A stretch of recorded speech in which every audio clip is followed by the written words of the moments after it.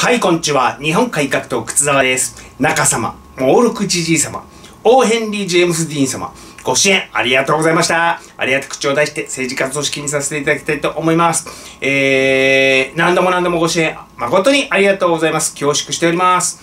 NHK がスマホ持ってるだけで我々から金取ろうとしている事実や、1人当たり年間70万円の税金が投入されている義務教育をなんで外国人にも与えなくてはならないのか、おかしいんじゃないのか、などを池袋東口で周知外線してまいりました。えー、昨日の夕方ですね、えー、ちょっと早めに動画上げてね、頑張って。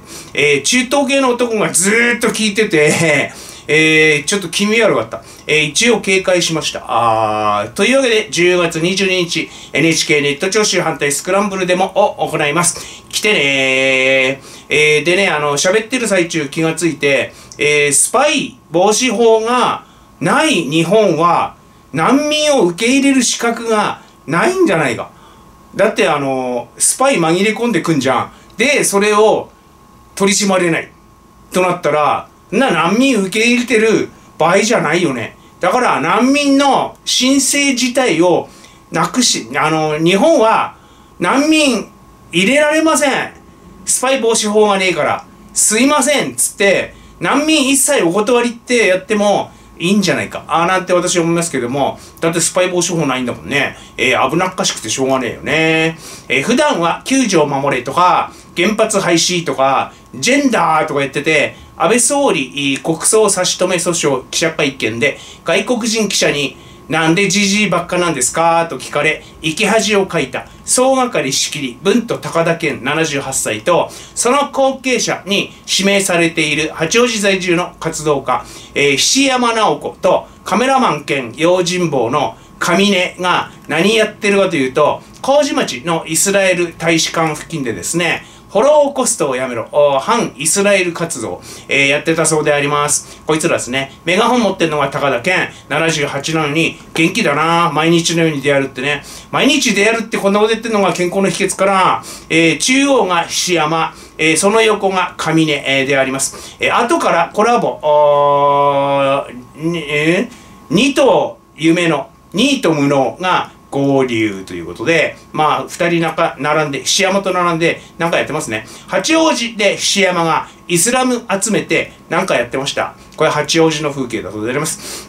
戦後すぐの時期にですね、共産党が朝鮮進駐軍作ってですね、各地で暴れさせて、度が過ぎて GHQ に解体された、えー、外国人の力を利用したいっていうのがパヨであります。奴らはこれをですね、連帯ってあの、便利な言葉で、えー、呼んでおります。えー、今日のイスラエル状況、ガザ北部の病院爆発で500人の被害が出たことを受け、国連安保理緊急集会開催、双方に対してちょっと休戦したらと提案する方向だが、覚悟ガン決まりのイスラエルは聞くまいね。えその集会で国連があの停戦要請出すかどうかの採決を米国が拒否権発動して流しました。えー、日本は賛成票を投じたそうであります。ハマスを解体するって目的がまだ達成されて、えー、ないから、えもしもあの国連から停戦要請が出たとしても、イスラエルは聞く耳持たなかったでしょうね。ハマスを解体するのが我々の目的って言ってたから。イスラエル、爆発した病院の衛星映像を次々と公開、続々と公開。えー、爆発したのは駐車場の車。ハマスとは別のテロ組織イスラム聖戦のロケット弾の爆発で空爆やミサイルの攻撃によるものではないと主張、えー、イスラエルがイスラム聖戦。なんだそのあの中二病な中学生みたいなネーミングは、えー、損傷を受けた車が3台だけで、えー、爆発の規模からして被害者500人は10倍して10倍盛りしてない、えー、それともその病院には500人が避難してたとこが爆発したのが、あの、いつの間にか500人が爆発したってなってない、えー、疑惑が深まる。また、イスラム聖戦がロケット発射に失敗したという内容の、えー、傍受した音声、盗聴音声も公開。病院駐車場から発射を試みて、ドッカンってパターンですかね。えー、卑怯卑劣なテロリストどもは、攻撃されにくい病院や学校に武器を隠す習性があるそうであります。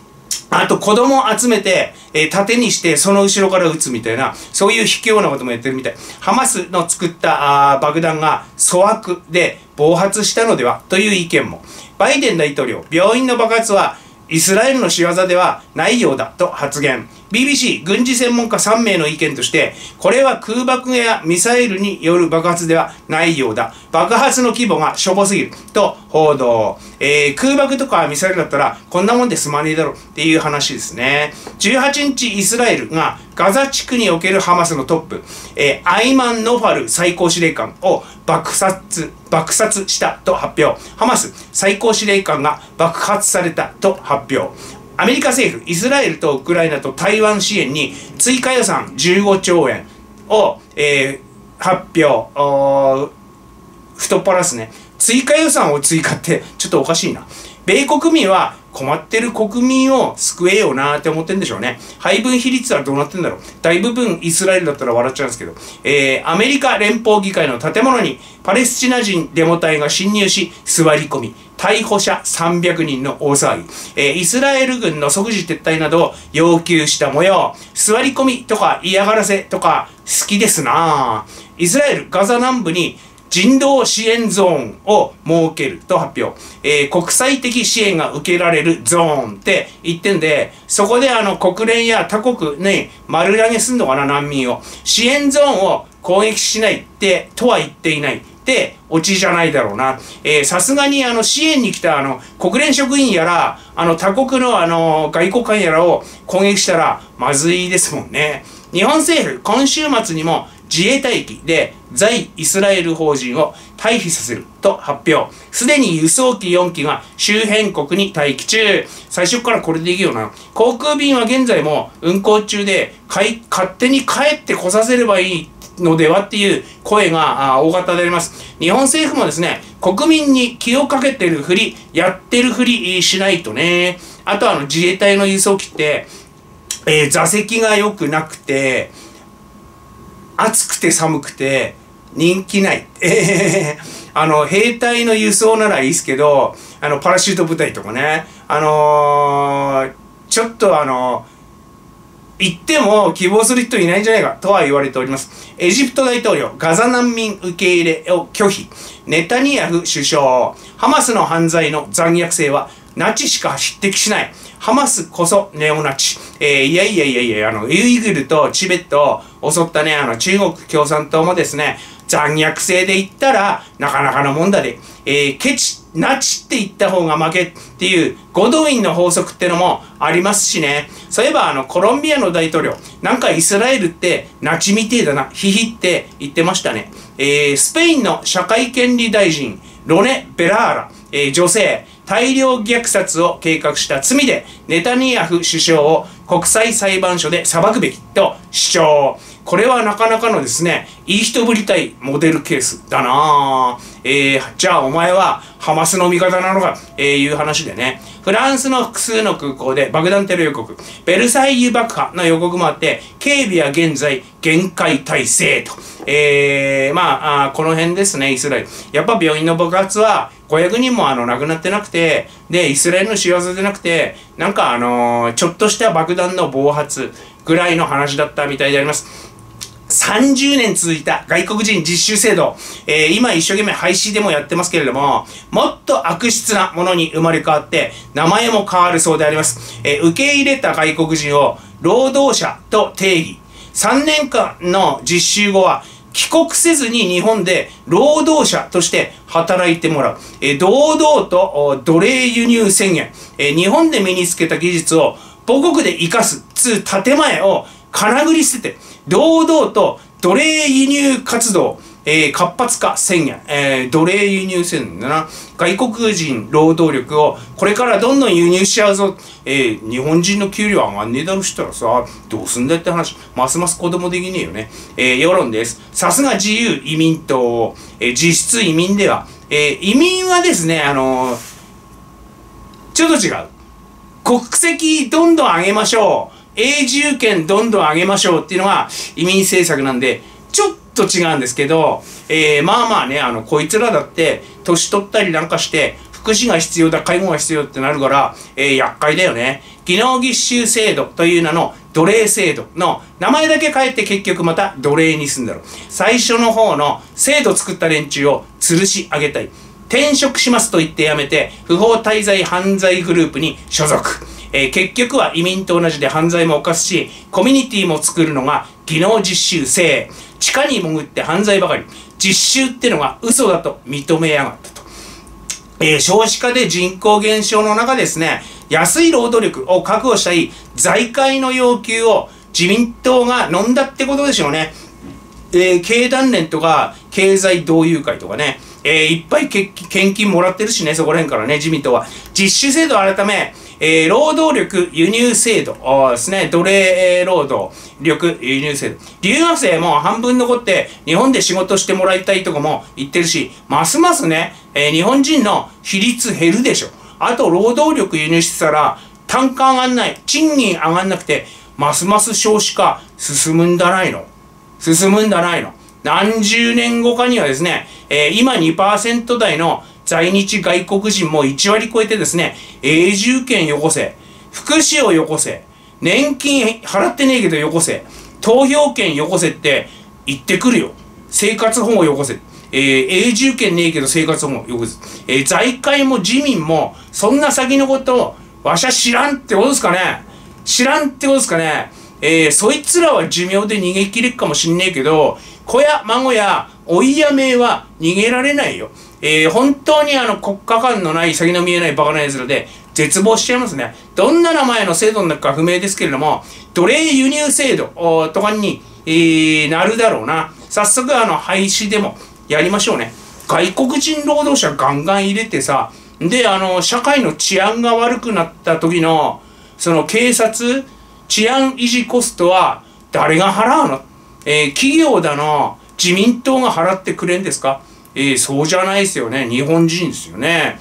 えー、あとあの、賃金上がんないから、ますます少子化進むんじゃないの？岸田がやってることは、異次元の少子化推進政策じゃないのか？って思うんですけれども、えー、とにかくまああの、これで外国人実習制度は廃止になった、勝った。じゃあない。もっと凶悪なものになって帰ってくる。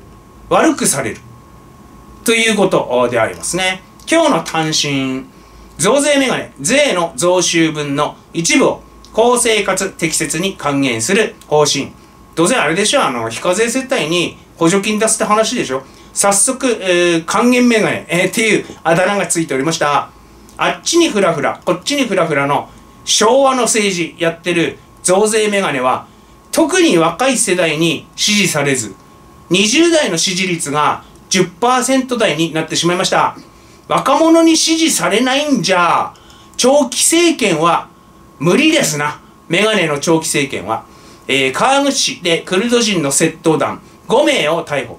5名は同じアパートに住む家族、えー、親族。えー、まああのー、娘の婿とかも入ってんのかな、親族。埼玉県南部を中心に余罪が数十件あると見られると。え、泥棒をファミリービジネスにしてた連中みたいですね。えー、日本政府が、日本政府がガン無視した中国の一帯一路会議になぜか鳩山幸夫が出席。どういう立場で言った？日本人が少なくて残念などという、えー、こいつのせいでイメージがすっかりですね、お笑い会議になってしまいました。紙代や印刷代高騰を価格転嫁し値上げした新聞業界の部数減少が激しい。読売は4月から、えー、8月までで長官15万部減少。毎日は6月の1ヶ月間だけで長官8.7万部減少。日経7月の1ヶ月間だけで長官有刊合わせて16万部減少。えー、減少は値上げじゃなくて、購読者の自然なぶっこによるものではなんて思っちゃいますけどね。えー、今年は年間160万人以上亡くなる。えー、去年は156万人になった。これから、あのー、10年ぐらいの間は年々増えるよ。えボリュームゾーンがそういう、う年に差し掛かっからと言われております。え、それにいいんじゃないの？あの、亡くなってもね、あの、新聞、紙の新聞特に、え、紙の新聞が環境破壊なのは間違いないでしょ。だって木切って紙作って、電気使って紙作って、で、ガソリン燃やしてバイクで配るんだもん。えー、あと、ろくなこと書いてねえし。環境、観光客増えすぎ問題で、混む時期の鉄道運賃を引き上げる対策を取ると政府発表。えー、これ例えばあの、もみじの時期の日光とかそこら辺イメージしてるんですかね。地元民も割り食うじゃん。バカですか？という罵倒を足す。観光客は鉄道運賃が高くても観光するだろう。諦めたりしないだろう。だって観光地価格って言うじゃない？えー、例えばね、あの、観光地、えー、の160円の鉄道代が1600円になったところで、観光客は来るだろうって、えー、地元民困んだろ。やっぱね、あの、官僚と自民党議員は、なんか常識的でない思考を持ってんな本当にバカなんだなえー、偽造の在留カードで働いていた不法滞在のベトナム人男24歳を逮捕。逮捕。優しい新聞、本名を載せず、金が欲しかった。などと、全くひねってない直球の供述。えー、そういえばですね、あの、10年以上前なんですけど、芸能人に合わせてあげると、少女を誘い出して、強姦してた、えー、強姦常習犯の韓国人がですね、それが生きがいだったって、堂々と、これまたあの、身も蓋もない、しょうもない供述してて、忘れられない。私、あの、若かった私に、強烈な印象を残しました。いいのそんなの言っちゃってみたいな。えー、常習的高級窃盗団、えー、高級車窃盗団のペルー人、ヨン富田直樹、ルイス逮捕。えー、どれが名前だ？なんだこらってね。群馬県の貸し倉庫に盗品を隠す大規模さ、えー、のあの窃盗団。あ前倒しで米国からトマホーク400発を購入することに対して東京新聞発表。なぜそんなに敵基地攻撃能力獲得を急ぐのか国民に説明も合意もない防衛力効果など役に立たない、えー、合意あるよ。自民党が与党っていうのが合意でしょ。選挙で勝ったって。えー、て有識者が言ってる。なんで役に立たないのか全くわかんないですけど、東京新聞が発表しているなら、よし間違っていないイーロンツイッター、ボットアカを撲滅する。だから年額150円払ってください。フィリピンとニュージーランドでテスト開始。無料の人は他人の投稿を見れるが、自分は投稿できない、えー、っていう仕様。えー、150円なら、まあ、いっか、と好意的でありました。札幌のショッピングモールで店員にですね、カードでお支払いですかと聞かれた59歳の男。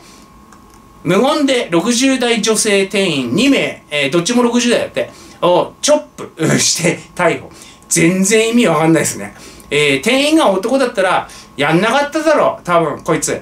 えー、女性が被害者で、犯人が男の暴力事件は、量刑を倍にしてもらいたい。被害者が男の時よりも、あの、量刑倍にしてもらいたい。えー、2年ぶち込まれるところで4年にしてもらいたい。って私思います。あとあの、駅とかで、あの、混んでるとこで、女性に体当たりしていく、あの、おじさん、いるみたいなんですよ。こういうのもね、あの、厳罰に処してもらいたいな。だってこいつら男にはやらないんだもん。相手見て弱そうだ、手向かいしなさそうだ、仕返ししなさそうだ、って、えー、いう相手を選んで、ぶつかってく、殴る。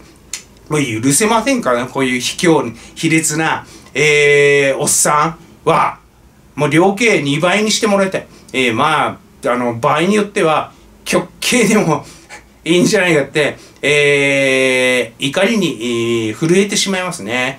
というわけで、えー、10月22日 NHK ネット聴取反対デモ渋谷で開催いたします。えー、やらない善よりやる偽善。デモに参加して後世こんな立派な大人たちもいたのかと褒められましょう。そうしましょう。適度な運動、ボケ防止に効果的。